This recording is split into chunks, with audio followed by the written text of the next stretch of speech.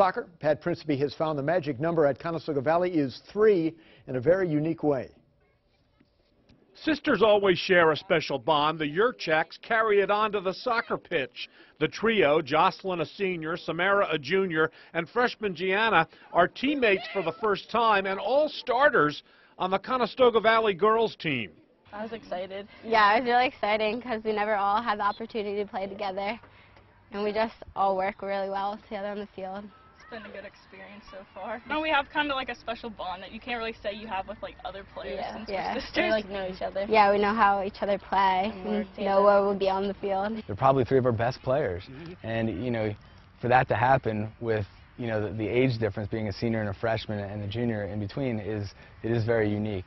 The Conestoga Valley Sister Act debuted to smash reviews in the first varsity game the three played together. Each of them scored a goal.